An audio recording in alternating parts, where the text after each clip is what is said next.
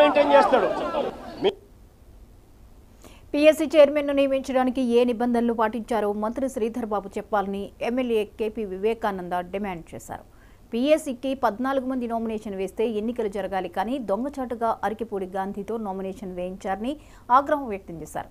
BRS నుంచి పీఎస్సీకి ముగ్గురు nomination వేశారు. నాలుగవ నామినేషన్ ఎవరు వేశారని ప్రశ్నించిన ఆయన హరీష్ రావు వేసిన నామినేషన్ ఏమైందో చెప్పాలని డిమాండ్ చేశారు. ప్రకారం చేసి ఉంటే పదమూడు పదమూడు సభ్యులని సభ్యులకి నామినేషన్ వేస్తే మరి యునానమస్ అవుతుంది. పద్నాలుగు మంది సభ్యులు నామినేషన్ వేస్తే ఎలక్షన్ పెట్టాల్సి వస్తుంది.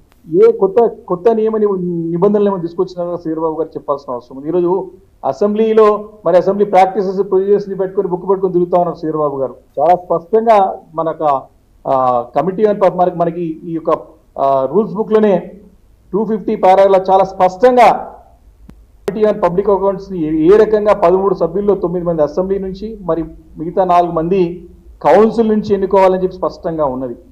ఒకవేళ వీళ్ళు స్పీకర్ గారికి పదమూడు నామినేషన్స్ వస్తే యునానమస్ అవుతుంది కానీ మాకు తెలియకుండా దొంగ చాటున పద్నాలుగవది కూడా నామినేషన్ ఇప్పించి మరి ఫోర్టీన్ మెంబర్స్లో మరి ఏ నియమ నిబంధనల ప్రకారము మా హరీష్ రావు గారి యొక్క నామినేషన్ తిరస్కరించినారా? ఏం చేసినారు తెలియదు ఇప్పటి వరకు కూడా.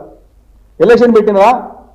సమాధానం చెప్పాల్సిన అవసరం ఈరోజు అసెంబ్లీ అఫైర్స్ మినిస్టర్గా గారు శ్రీరాబాబు గారి పైన ఎందుకంటే వారు మాట్లాడారు నిన్న విషయాన్ని. ఏ నియమము ఏ నిబంధన ప్రకారంగా పద్నాలుగు మంది ఉన్నటువంటి నామినేషన్లలో పదమూడు మందిని సెలెక్ట్ చేశారు. మాకున్నటువంటి మా పార్టీ పరంగా ఉన్నటువంటి మాకున్నటువంటి ఒక ప్రపోజ్ ప్రపోజనల్ ప్రకారంగా మాకు ముగ్గురు సభ్యులు ఉంటారు. ముగ్గురు సభ్యులలో మా తరఫున హరీష్ రావు గారు మాజీ మంత్రులు హరీష్ రావు గారు ప్రశాంత్ రెడ్డి గారు అదేవిధంగా गंगुला कमलाकर